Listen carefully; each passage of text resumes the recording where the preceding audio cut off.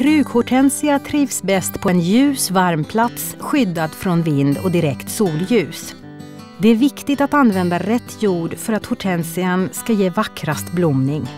Rhododendronjord är en specialjord för surjordsväxter som hortensia. Gödslingen är specialanpassad för surjordsväxter och innehåller till exempel extra mikronäring som ger ett grönt och friskt bladverk.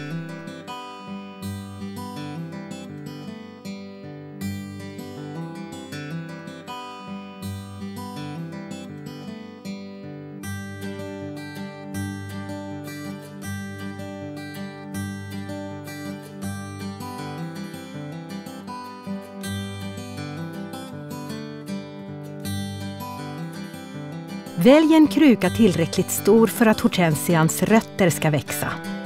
Lägg ett lager med lekakulor i botten av krukan. Häll rhododendronjorden direkt på lekakulorna. Gör en grop i jorden som är något större än roten. Plantera hortensian och tryck till jorden lätt med handen. Genomvattna jorden men undvik att det står vatten kvar i ytterkrukan.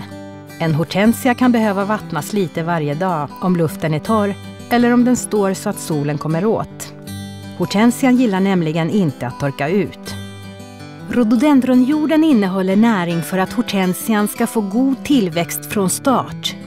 Efter några veckor kan du dessutom ge Hasselfors Gardens organiska växtnäring en gång i veckan. Då kommer hortensian att blomma och behålla sin vackra färg hela sommaren.